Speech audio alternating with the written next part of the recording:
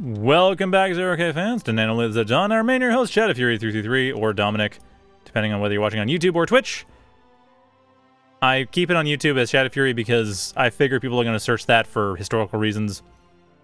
It seems like the thing to keep for legacy purposes. But yeah, Twitch is now Dominic because it means it's more professional, easier to sell. Eh, whatever. Anyway, moving on. We have Randy and Godde on Dual Icy Run. Let's get going. Randy going for the Light Vehicle Factory Rover Assembly. Going for tanks, which they have been going for quite a bit. We saw in the tournament last week they did tanks fairly often. So no surprises there, but still an interesting choice. This keep happening? Anyway, yeah, so this is going to be, like I said, Randy... Randy going for early fencers right off the bat, not even going for a whole lot of scorches or anything. Which on this map kind of makes sense if you want to push forward. This is a large map, and scorchers, they're going to take a little while to get from one side to the other. Although even then, I think it's more just because like, where you where are you going to put a Scorcher? Where are you going to push when you have this spread out metal extractor setup?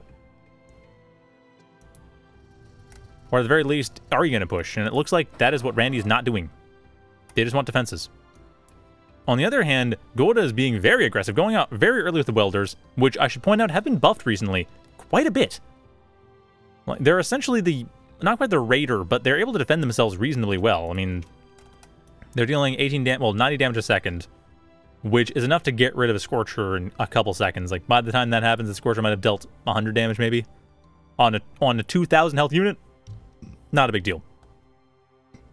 So with that, Godde definitely starting out quite strong, quite aggressively, while Randy, on the other hand, just trying to make sure that they don't get hit back.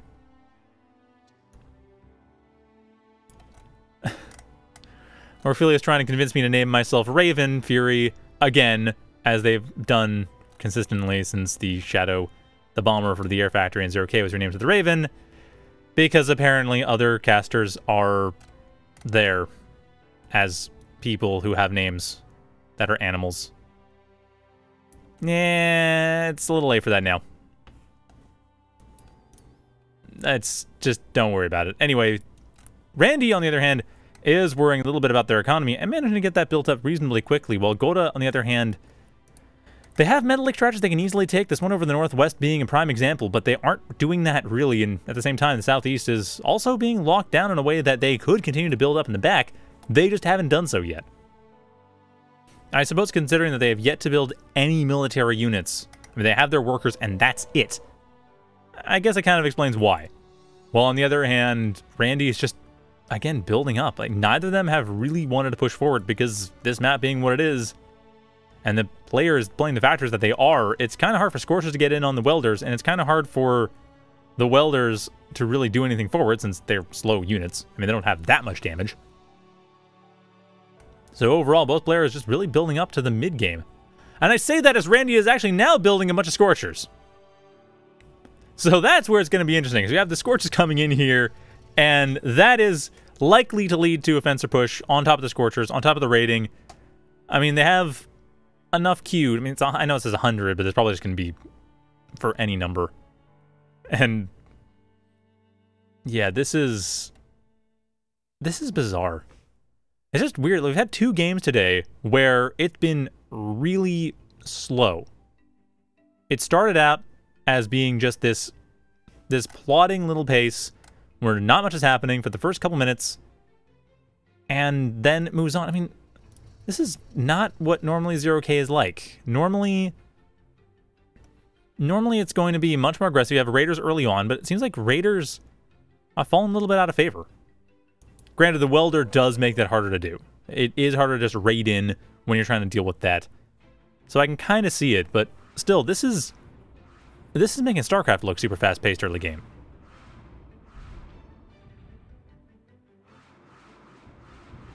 So with that, though, Randy finally now managing to get some aggression in here and managing to finally get some fences in here as well. And that is going to be, well, that's a strong fencer push. That's what's going forward. I mean, Randy should actually be able to do a lot of damage with that.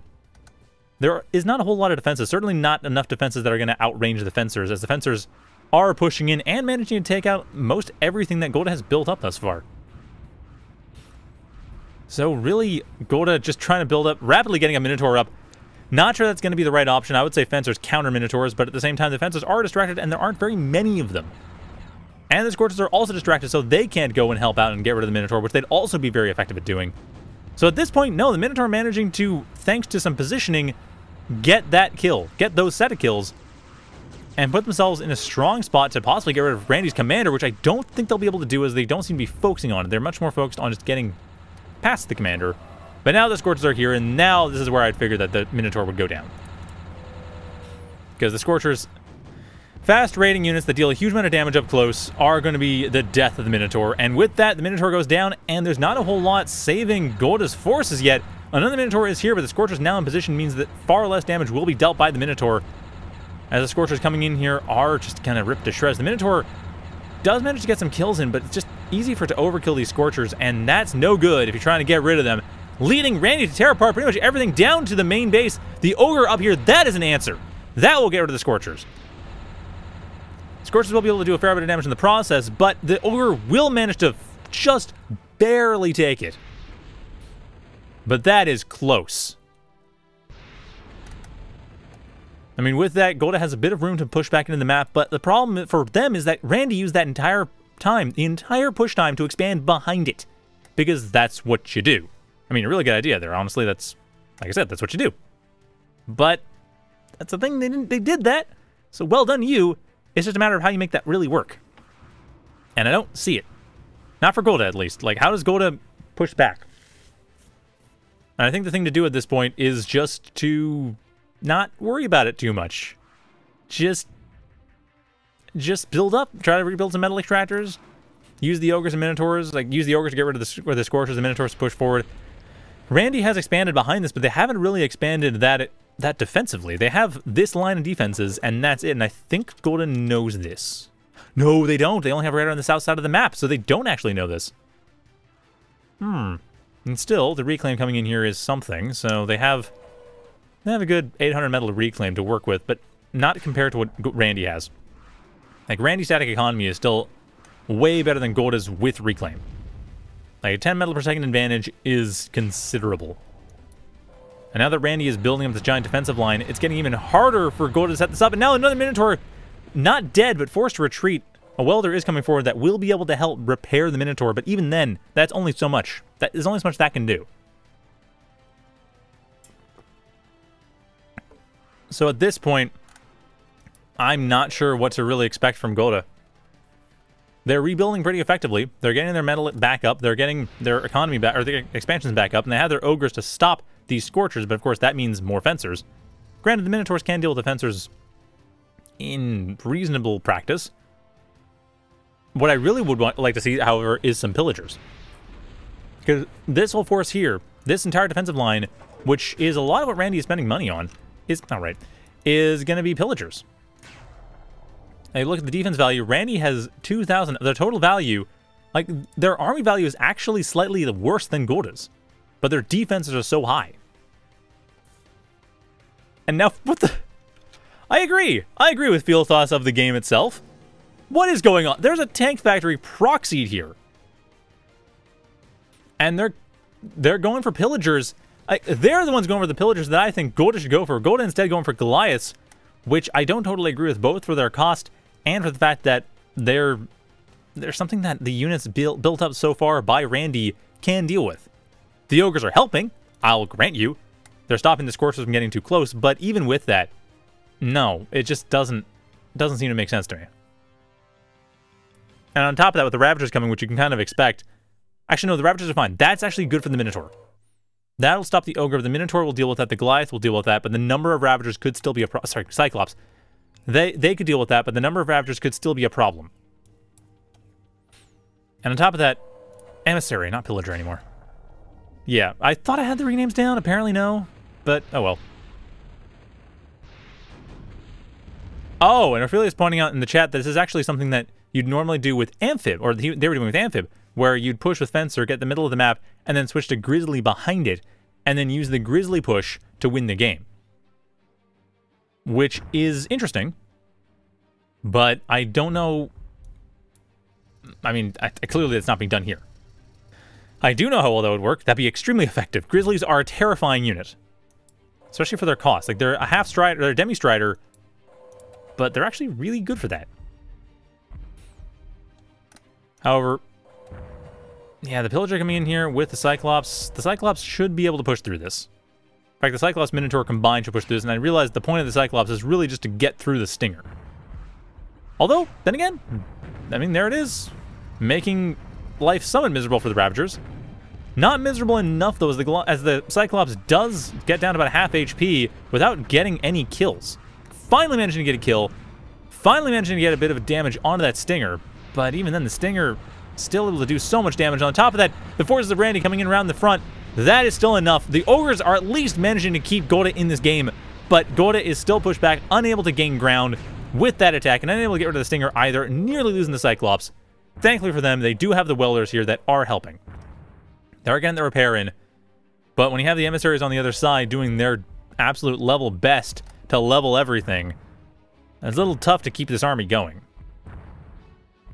Thankfully for the Welders, none of them have died thus far. It's been a bit lucky, honestly. But yeah, getting rid of the Stingers, that's going to be the key thing. If those can be destroyed, then there's a chance. And again, if Godde built some emissaries, they could get rid of the Stinger. I mean, Stinger range is kind of ridiculous, actually. Go what?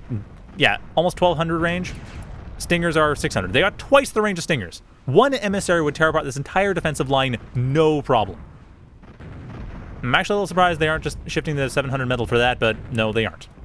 Be one fewer Minotaur, but I don't think the Minotaur is going to do much good. Goliath, however, sorry, the Cyclops, however, is managing to do a fair bit thanks to that slow beam. Slow beam definitely necessary to make sure that that Stinger did die, but that Stinger did die, and that does open things up because now there is no defense that's able to block the lower side of the map. There was before, because the way the Stinger was, it was here. That that's now opened everything up. Now Godde can break back into this match. But the question is, are they going to manage to get much value off that as the Welders are not repairing the, the Cyclops, and the Cyclops is, well, like two, yeah, 1600 damage. One good lucky emissary hit will finish it off. But at this point, the Welders, are they really going are you seriously raiding with Welders? Actually, granted, considering the emissaries don't have a whole lot of close damage, or close range damage, that's not a terrible idea. Especially with the Stardust being built on top of that. This is actually interesting. I don't know if I call it brilliant because the emissary, sorry, the Minotaur is making that a bit of a problem, but hey, the repair, that's making it work. Minotaur's not able to survive this with the Stardust right next to the factory. That factory's going to go down in an instant. This is actually pretty brilliant, all things considered. So Godde managed to get rid of the proxy factory, locking the commander behind a wall of defenses so they can't really move either way. I mean, granted, the defenses might go down, but that's fine. And that's enough to push Randy to throw the towel and go to taking with a clever little push around the back with defenses. I have never seen that done before. Amazingly done, but very novel. So that is...